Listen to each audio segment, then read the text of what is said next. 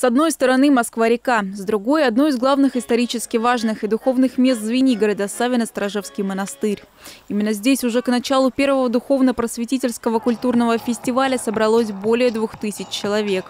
Сам по себе фестиваль уникальный. В его э, создании принимали участие и фонд президентских грантов, и канал «Вера», и Академия Ивана Глазунова, Ильи Глазунова, Иван Глазунов.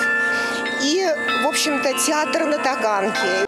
Двухдневная программа насыщенная. В первый день на площадке проходили всевозможные мастер-классы. Дети и взрослые своими руками изготовили часы-ходики, расписали балалайки и не только. Для гостей подготовили зрелищные выступления. Ристалище, значит, такой вот стан ротоборцев, древних витязей, которые демонстрируют ратное искусство наших предков. Э, по соседству, это не программа фестиваля, но рядом с нами наши друзья и партнеры проводят конное шоу. Такое вот сегодня будет два, два представления конных шоу.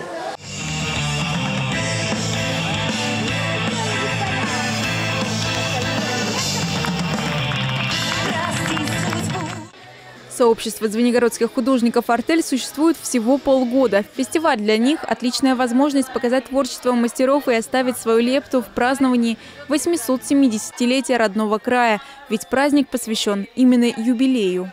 У нас также есть виды Звенигорода, которые выглядели в 40-е годы, в 70-е. В основном это живопись, холст, масло. Также мы стараемся раскрыть красоту Звенигорода именно как природную и архитектурную.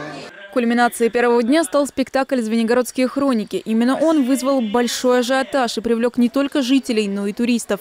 Представление погрузило зрителя в историю древнего города. Вот называется, да, хроники Звенигорода, да, вот это действительно такие хроники, хроники, что-то такое, такой шекспировский размах, в которых появляются великие персонажи э, и какие-то, ну, буквально какие-то цитаты этих великих людей, какие-то фрагменты из их жизни, самые какие-то пронзительные, значимые, э, они происходят на сцене, сменяют друг друга, и, ну, лично у меня возникало ощущение какого-то масштаба. С 14 по 20 век. Здесь показаны все личности, которые сыграли важную роль в становлении одного из старейших городов Подмосковья.